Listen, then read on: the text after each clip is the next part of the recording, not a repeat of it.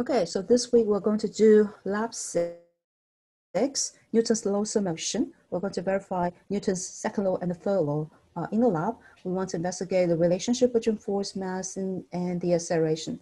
So the uh, um, the diagram, so the uh, uh, the structure is like this. So experimental experimental design is like this. You have dynamics track, you have the, the force sensor, you have the dynamics cart, and you have this, what we call the rotary motion sensor. So we're going to tie the string to the hook of the, other the force sensor and and on the end of the other string, uh, we're going to put mass on the, uh, on the mass holder. So this whole thing is going to provide tension in the string, and that is considered as external force. And that force, uh, which is F, and then we have the, um, and it's going to, uh, it's going to be measured by the force sensor. And the uh, F equals ma, so m is the mass of the force sensor and the dynamics cart.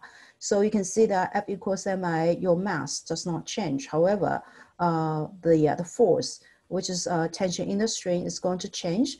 And in response to the change in uh, tension, the um, uh, the acceleration would change as well. So we're going to add 10 grams in uh, in 10 grams increments on uh, on the end of the mass holder, and it's going to uh, the system is going to measure the uh, the force and it's going to measure acceleration, and and you're going to have 10 data points and those 10 data points will be uh, will be able you'll be able to use them to find the uh, the mass of the system which is the, uh, the combined mass of the force sensor and the dynamics cart. So when you do this experiment uh, uh, several things to pay attention to. One is that the track has to be uh, leveled and and the string has to be level uh, to the tabletop as well. So you can adjust the height of the rotary motion sensor so that the string is parallel to the tabletop.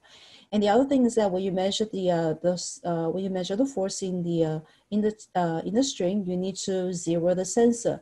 And so how do we zero the sensor? Basically, you would have one hand holding the, the string so that the string does not exert any forces on the hook of the, of the force sensor. And use another another hand to press the button, which we call that tare button to zero the sensor. So once you uh, once you do that, then the uh, the force sensor is what we call calibrated, and the uh, the force that you measure subsequently uh, will have the accurate value of the uh, of the force uh, in the in the string. So that's your the first part, and this the and the second part is about the uh, Newton third law. So you would have two force sensor again. Track has to be leveled and the string has to be leveled. You're going to have uh, you know talk uh, uh you're going to exert forces on uh, on the force sensor on the left hand on the left hand side, and the assistant to, is going to respond in equal uh, uh in equal magnitude but opposite directions. Uh, you know, by the virtue of by the virtue of the uh, Newton's third law, so that uh, you know F one two is equal to F21. And so they will have uh, that, uh, so the, the, the force on the right hand side should create equal amount of force, but in the opposite direction. So the whole thing is balanced. So this is uh, the uh, Newton third law. So you would, so let's look at the table. So you have something like this. So this will be provided. And as I mentioned, the force here is the uh, is uh, as a result the uh, the loading mass on the uh, the mass holder to create the tension and uh, and this is Newton third law F12 and F21 values will be provided and the combined mass will be uh, will be uh, you know uh, provided as well. So for the uh, for the second law, the slope will be uh, experimental value of the combined mass, and you're going to compare to the actual value in order to get the percent error. And for the third law, the third law, you know, the theoretical value should be one, and you're going to compare to your slope in order to get your percent error. Okay, so let me bring up the, uh, the data table.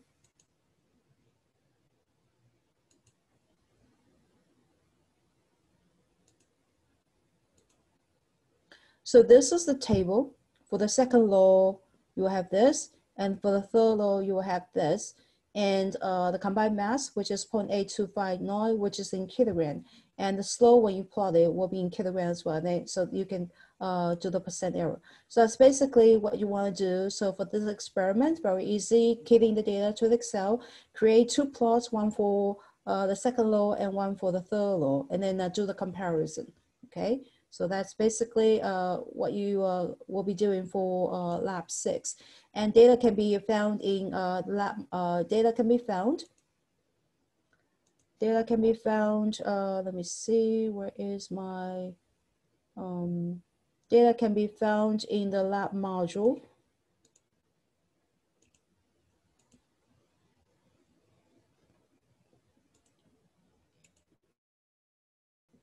So uh, data will be in here, okay? So need, that's a, in the Word document, you need to upload to Excel, uh, you need to keep the data to Excel and the instruction will be uploaded to the, uh, to this, uh, this folder already.